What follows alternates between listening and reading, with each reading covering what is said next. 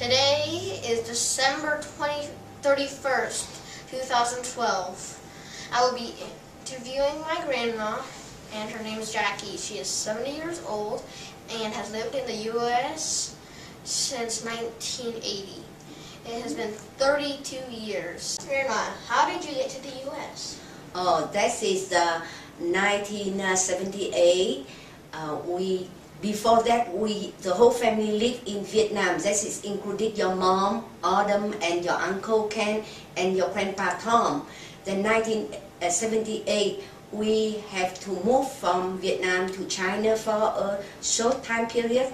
Then we took a boat, boat from China to Macau and lived in the refugee camp and we stay there for half year. Then we fly on the Pan Am, which is the largest plane in the world, from uh, Hong Kong to San Francisco. Grandma, how about your boat, ex your experience on aboard the, the boat? Oh, that boat, the boat is only a fishing boat and a wooden one and no motor, you know. Then it hold 102 people included 14 kids. 14 kids can be in a little bit cabin, what they call, and the top of the cabin is covered with those um, uh, bamboo uh, sheet, you know, not anything metal on that the boat. And for every day on the boat, we can have only one meal, which is included a little ball like a, a big uh, duck egg of uh, rice. That's all we have for day, you know, and no no chair, no nothing. Everyone just sit on the floor. The children, 14 children in the cabin squeezed together and parents won't see the children until we get to Macau and the boat almost sink. And that's why after we land, the uh, officer there, they burned the boat. They was too afraid that we carry germ into Macau. Why did you choose to come to the U.S.? Like, why did you leave Vietnam and China? Oh, that's because at the time, uh, Vietnamese Communist and Chinese Communist Party, both parties have some conflict.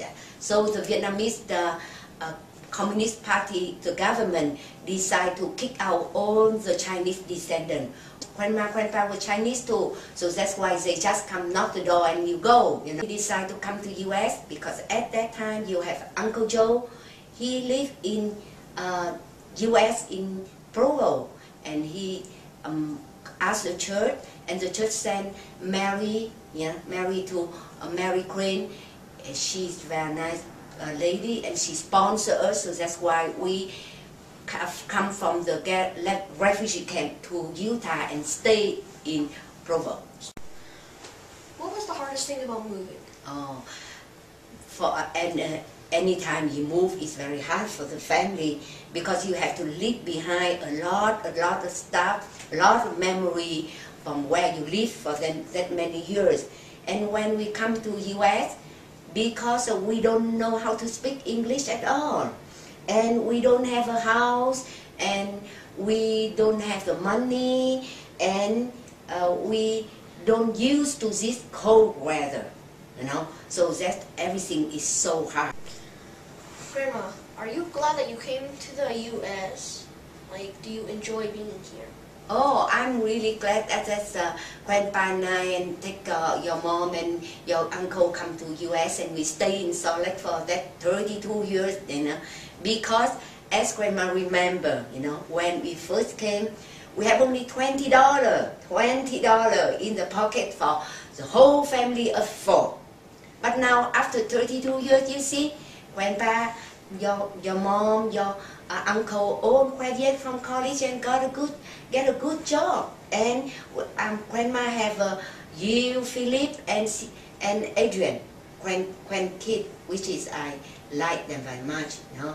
And also summertime we can travel, you know, and we even go back to China for visit, and we go back to Vietnam for visit too. Know, so I enjoy very much. I'm lucky that I stay here and I'm retired now, stay home with you guys.